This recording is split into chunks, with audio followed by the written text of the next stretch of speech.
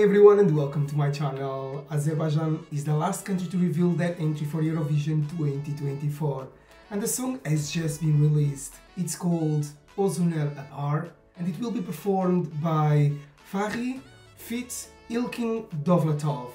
After this video I will release our poll for the second semi-final so if you are interested vote in your favorites and the link will be in the description. So without further ado let's take a look at their showcase performance.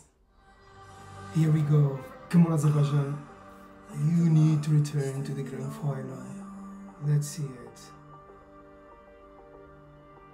Oh. Traditional instruments straight away captivates me. That's the most important part. Okay, I'm excited to see where this goes. Mm. Alright, lows and highs. Oh, we've got strings in the back, or a DJ there. Okay, this can go in so many different ways. Oh, feel like the beat is coming through. Very good. Very strong lyrics. Oh. Oh, okay. It's a little bit dramatic. Hmm. I feel like the best is yet to come. Ooh. I love his voice. Great vocals. Okay, this one must be Ilkin.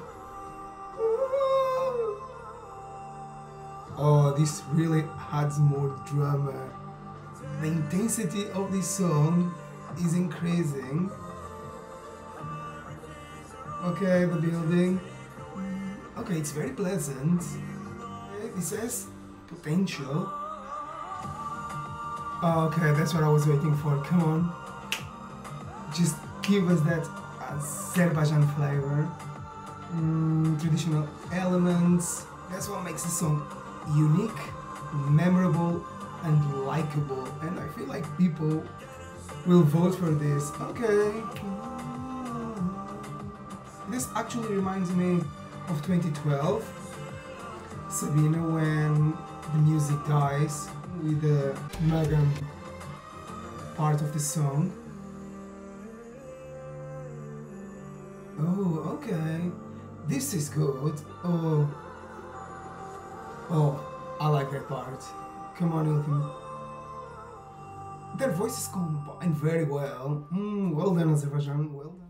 Alright guys, it's really cool to see Azerbaijan back with their traditional elements, traditional sounds.